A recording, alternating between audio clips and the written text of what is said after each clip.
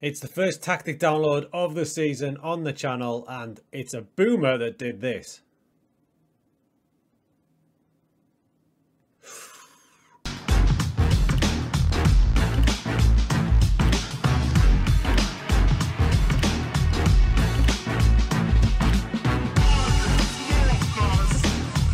How's it going folks? Hope you are well. Now if you're new to the channel, this is the Stinger channel. My name is Neil. On this channel you can find tactics, role guides, bit of let's play action, all sorts. So today we're going to do our first tactic download video. Now this video is inspired by my recent series on build a tactic. So recently we built a 4-3-1-2 stroke diamond tactic so I thought you know what let's give it a go myself in a full season. Now this isn't your normal download a tactic video. Yes I'm going to give you the tactic to download shortly. You don't have to wait around for it. The download is below. But if you want to wait and sit through the video I'm going to show you different alternatives to use on this tactic where you can possibly change things for yourself to make it your own. So there is Ciro Immobile who managed to bag, I mean I put 50 in the thumbnail but he got 61 overall in 52 games, 50 in Serie A, a notoriously hard league to score right? Not anymore.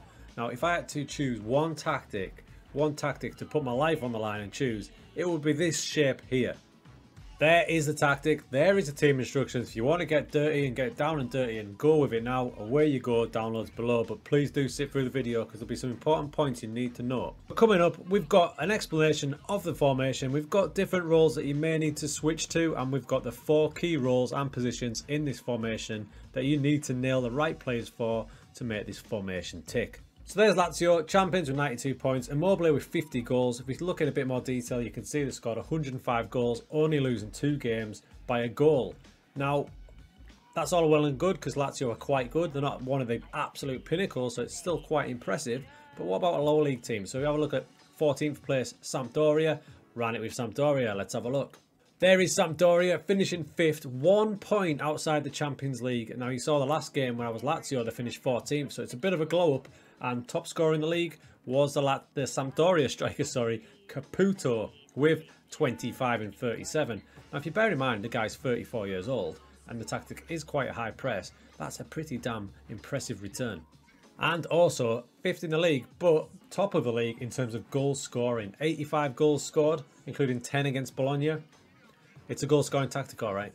The eagle-eyed amongst you will know a slight tweak in that tactic for Sampdoria as well, which we're going to get to next. But first, I wanted to check this tactic with a lower league team. So let's go to England and League 2. And possibly, possibly the most impressive of the bunch. Forest Green take down the title in League 2 with 103 points.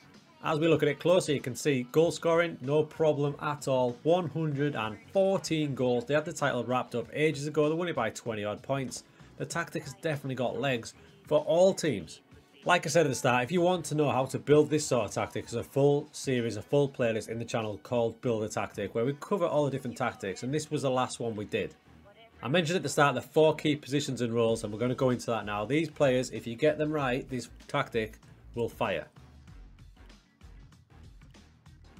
The first one, pretty obvious since we focused on it from the start, is your striker, your advanced forward up top.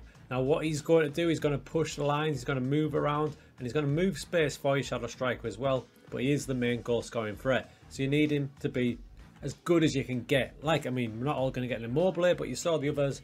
We had the top scorer for Sampdoria as well. Just need a quality player. Finishing, movement, off the ball. Just look for the perfect advance forward and do what you can get on your budget. See, striker's hugely important, as you can see. Immobile with 50, there's Francesco Caputo. He battled in 29. And over in England, Matty Stevens, 28 in 53, top scorer for League 2. So you can see different levels of striker there, but all still doing the business. Matty Stevens is obviously no Ciro Immobile, but he's still bagged in close to 30 goals, so you need to get that striker right. Right, the next one is one of your main providers, and it's in his midfield three, and it's your Mezzala. Now, if you look at SMS, the season he had was pretty ridiculous. There he is, playing as a Mezzala, 21 goals, 8 assists. Beautiful. He's going to be a big scoring threat and an assist as well.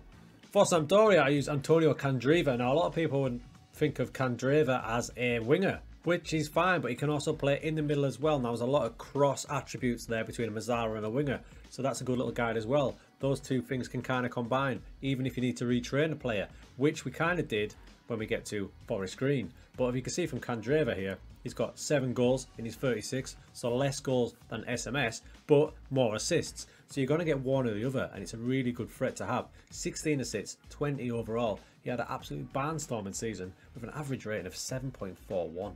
Over to Forest Green, and this is the toughest one because Mezzala's at this sort of lower league level and not in abundance. They're not going to be extra spectacular. So I actually found Forest Green's Mezzala, Alan here, in the development centre. He's only young, he's 21, he wants to play up there, but I've got him to play in here. And you can see he's had a decent little season. 7 goals and 11 assists with an average rating of 7.09 from that central midfield position. I mean, that's with a player who's not amazing, so if you can get a Mezzala lower league who's just a little bit notch up over Allen there, you're going to be absolutely laughing. And that brings me to the last two important positions and roles, and it's your wing backs. Your wing backs are going to cover all the ground up here, give a bit of distraction from when we're playing through the middle. They're absolutely vital, and they should come up with some big time assists, such as Hysaj here with 10 assists down the left hand side, 7.4 average rating, and Lazzari on the other side with 18 assists with a 7.35 average rating. Sampdoria also hugely impressive with Bereszyński. He's got quality 8 assists with 7.10, but on the other side, Augello, average rating player of the season of 7.5, assists of 12. Them two boys will provide the width. Now, the most impressive was, in fact, Forest Green. And these ratings are wild. Now, what I did with the left hand side, Cadden, was he was a winger and I retrained him back to be a fullback in pre season. You can see he wants to play there. I retrained him there and it was perfectly done because he got an average rating of 8, 8 over 41 games with 18 assists. And on the other side, he was even outdone on the assists by the other side from Kane Wilson, who come up with 21 assists and 7.77 average rating. I mean, blinding, blinding stats.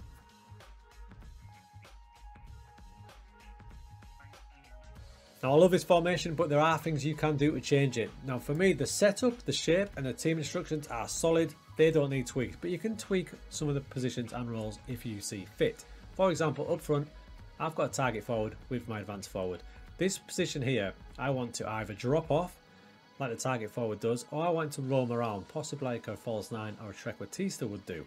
Now if you look at Muriqi here he didn't have the greatest of seasons, 5 goals only 8 assists, granted Immobile swallowed up all the goals, but his average rating wasn't great either, so there could have been a better player to use there. Lazio didn't have a great deal of options. So I thought, why not try another season with a slightly different role up front, and I used the Trequartista. This is the Trequartista season, and Ciro Immobile actually scores 63 goals in this. Again, another 50 in the league, 63 overall. Lazio again won the league, so the shape, the team instructions is solid. Now, up front next to Immobile, like I said, I use a Trequartista in Andre Anderson, and personally, he had a better season than the target forward, scoring 12 and assists 7 in 36 games. But as a team, as a team, the team actually lost more games. They lost 7. So that gives me food for thought on better roles to use. They're still banged in 108 goals, but they still lost a couple more games rather than using a drop-off forward as opposed to a roamer. For Sampdoria, I tried it with a deep lying forward.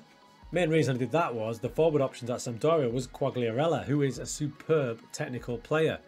Did the business, 11 goals, 5 assists. Now you got to remember, Quagliarella is 39 years old. He's up front with Caputo, who's 34, and they're getting assisted by Candreva, who's 35. So for them boys to finish fifth and top scorers in the league that season, it's pretty damn impressive.